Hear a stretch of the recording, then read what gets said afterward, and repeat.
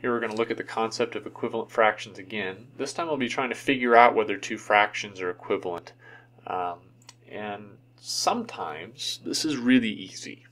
Okay, so in the case of say, you know, 1 half 4 eighths, you may not be doing any math at all, um, even in your head, because you might just look at this and say, well, okay, uh, I understand that 4 out of 8 is exactly half, and so of course 1 half and 4 eighths are equivalent fractions. Okay, um, But I think it's fair to say that in these two examples here, um, it's not clear whether the pair of fractions is equivalent. And so because every fraction only has one uh, way to write it in lowest terms, that is a strategy for figuring out whether two fractions are the same or not, is by writing them both in lowest terms. If they have the same simplified form, then they are definitely equivalent. If they're different, then we know they're different. So let's take 45 63rds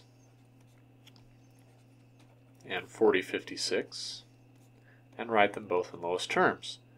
So 45 63rds, um, well, let's see what goes into both the top and bottom evenly. Well, these are both multiples of 9, so I should be able to divide the top and bottom by 9. And when I do that, I get a 5 on top and a 7 on bottom. Let's see on the bottom, the greatest common factor. Well, let's see, they're both even, so 2 definitely goes in, but I'm recognizing both of these as multiples of 8. So let's go ahead and divide top and bottom by 8 and see where that leaves us.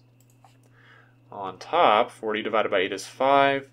56 divided by 8 is 7. And so both of these fractions um, are written the same in lowest terms, so of course they must in fact be equivalent fractions. They must be the same. So these two are definitely equivalent.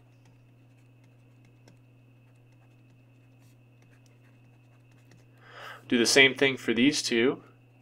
24 54ths, 18 36. Uh, 24 54ths, um, well, let's see. These are both multiples of 6, right? Because uh, 24 divided by, or 6 times 4 is 24.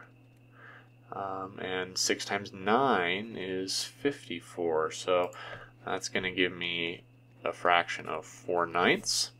Um, and then 1836, um, well, it turns out that 18 actually goes into both of these, but I think what might be a little more natural here is to understand that 9 is a multiple, or, or these are both multiples of 9, and so that would give us 2 fourths. And you can already see the fractions are not equivalent, but then let's reduce it the rest of the way. and we end up with 1 half.